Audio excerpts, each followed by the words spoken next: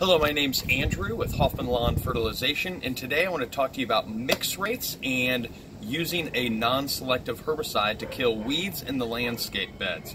The product that we tend to use most is going to be Roundup Quick Pro. Let's talk about the mix rates real quick and what type of uh, device you'll use to put down this application. Alright, so when performing these applications, what we most often would use is either going to be this one gallon hand can or this backpack sprayer which holds four gallons. So the mix rate that we would be using for our Roundup Quick Pro is 1.5 ounces and here's a measuring tool right here and this device holds 4.5 ounces in total. So if I'm using just this one gallon hand can.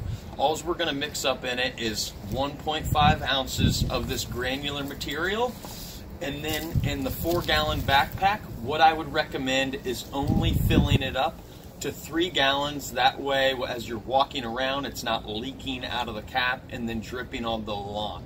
So filling up this four gallon backpack to three gallons, you would require 4.5 ounces. It's important that you do not undermix or overmix this product. If you're looking for the best results, you need to be spot on. So when opening the Roundup Quick Pro, it is a child-proof cap, so you're going to need to apply pressure and push down. Simply twist off. Here is your measuring device. So we're going to measure just for this little uh, hand can right here. You'll just kind of shake it in.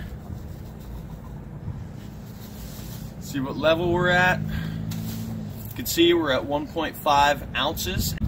Make sure that you put the cap back on in case it spills. All right. Make sure that our measuring cup always goes back on. You don't want to end up in a situation where that gets lost. This one right here holds a gallon but be sure to note that filling it all the way to the top would be more than a gallon. There's going to be a line that indicates how much water is in it.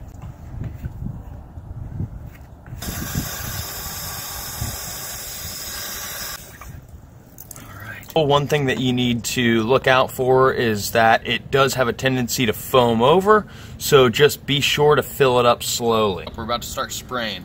It's important to note that you can adjust your spray with the little nozzle here at the end. And to test that and get it just right for yourself, it's best to walk over to maybe the concrete or the driveway in an area where you won't be walking. You can simply spray it on the ground, see the pattern. It might be a stream or a cone. You also don't have too high a pressure built up into the, the uh, sprayer because then you'll end up getting drift and you could kill desirable plants. So let's walk through the beds here and uh, we'll look for some weeds. Through the lawn, it's also important to carry your nozzle so it's, it's pointing up like this. Over time, if these things aren't cleaned out really good, you could end up getting some dripping that takes place. So we'll traverse across the lawn with it up in the air. All right, so when you're walking throughout the beds looking for weeds that need to be treated, ultimately the weeds that we're going to be spraying are under two inches. If that weed is taller than two inches, we're going to go ahead and just pull it. If you do have weeds that are very close to the base of a plant or close to a desirable plant, always best again to just pull those ones because you could get drift and it could uh, it could affect those desirable plants. Weed here.